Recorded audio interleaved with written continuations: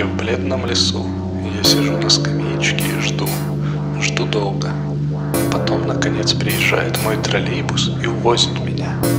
Я еду один в пустом салоне, а за окном медленно проплывает бледный лес.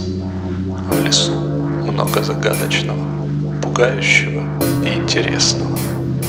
И темнота в сочетании с тишиной, и прохладный ночной воздух, и шепот из-за деревьев, кто-то зовет меня. Я точно знаю, что это не Масумбра, потому что здесь нет и не может быть Масумбра. Здесь слишком глубоко даже для нее.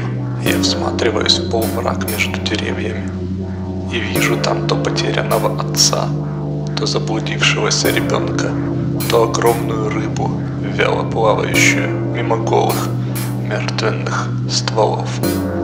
Лес пугает меня и волнует меня и манит меня. Я прильнул к окну.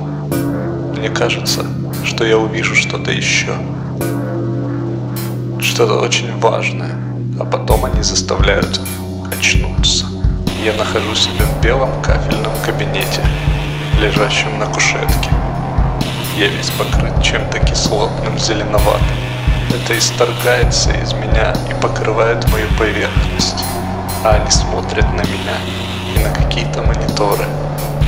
Светят мои глаза фонариком. Они говорят, что вновь и вновь с трудом возвращают меня, что мне стоит прекратить употреблять вещество для перехода.